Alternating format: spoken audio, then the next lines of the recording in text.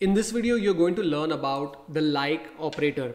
Now, like operator is used with where clause, right? And it allows you to search for a specific pattern. To search for a specific pattern, you're going to use the percentage sign. And the syntax looks something like this. Select column from table where column like pattern. Now you're probably wondering what does pattern mean?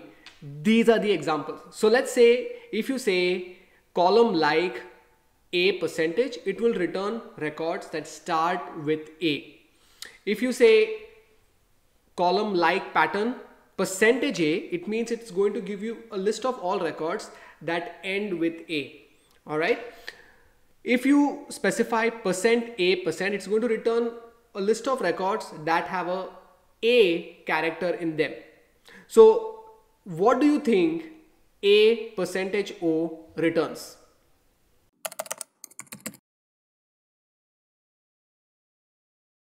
So what I have here is select star from customer and it's going to give me the entire data set. Let's try to understand the like pattern on the names column. So what I'm going to do is I'm going to erase this and I'm going to say select name from customer and when I do that I'm only going to get a list of names and then we'll focus on that and practice the like keyword. So let's do this and now I get a list of all my customers. So let's try different commands, different patterns. So the syntax is select name which is the column, select column from customer where column which in this case is name like and the pattern right so what this is going to do is it is going to give me a list of all customers that have that end with A. So in this case, I know Nishita Surana ends in A uh, and that should be the only name we should get when we run this command. So let's confirm that the command runs as expected. So when I do this, I get two, two results and that's actually correct because Alka Andhra the name ends in A and this is exactly what this is doing. Percentage doesn't really care what comes before A. All it is looking for is it's looking for a pattern. It's going to give you a list of names that end in A and in this case we have two names Alka and Nishita.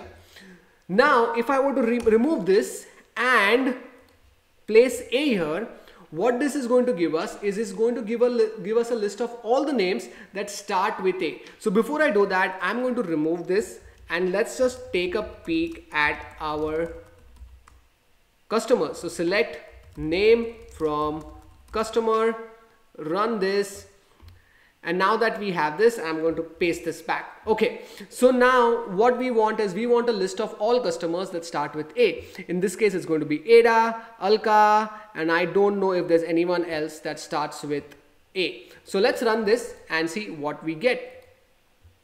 As expected we get two results which is ada and alka. Now let's take this further and try something else. So what we'll do is we'll place percentage a percentage. So what this means is MySQL doesn't really care what letter the name starts with or how it ends. It's only looking for all the names that have a in it. So let's remove this again and take a peek at our data, select name from customer and run this. So now there are 16 names. I don't know which names have a in it. So I am going to paste this query which is again select name.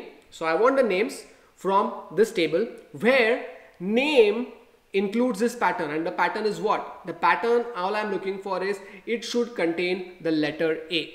So let's run this. And there you go. We get a list of all customers that have name uh, that have letter A in it. And it doesn't have to be one letter. You can change this. So you can say I want AD and run this and now you will get two folks who have AD in their name. So we have Ada, of course, uh, we have A and D in their names and then we also have Prasad, right? AD in his name. So that's how you use, you can add as many characters as you want in this. Now another thing that we wanted to try was let's remove this, select star from customer. So I mentioned what will you get if we added a percentage O. So let's give that a shot and see if we have any customers that begin with A and end with O. That's, that's what it means.